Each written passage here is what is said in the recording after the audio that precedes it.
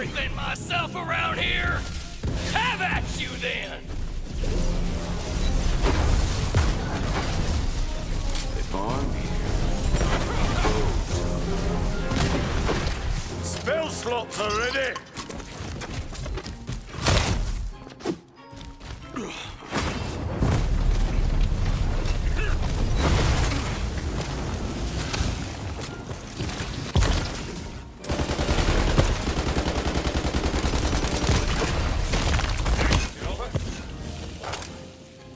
Let's brief, man.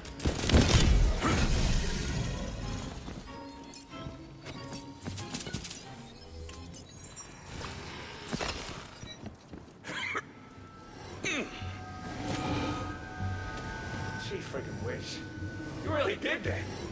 Not only did you avenge me, but you saved Brighthoof. Look, thanks for trying to put me at rest. It's not that I don't appreciate it, but I kind of want to return this place back to its former glory, you know? No reason your life goals should have to end in death. You're right. You're the best. I'll get to work on making this a place that actually helps people, instead of trying to turn them into monsters.